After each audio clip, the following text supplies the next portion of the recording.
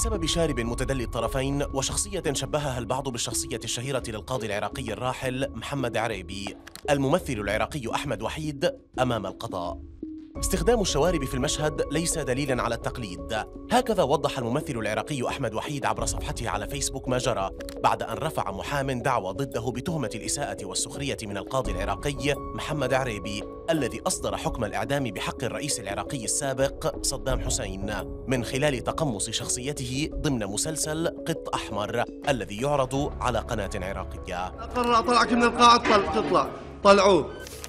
تضمنت الدعوة اتخاذ إجراءات قانونية بحق كل من الممثل وحيد ومالك القناة التي تبث المسلسل ومديرها المفوض كما طالبت بإصدار قرار بمنع وإيقاف بث العمل.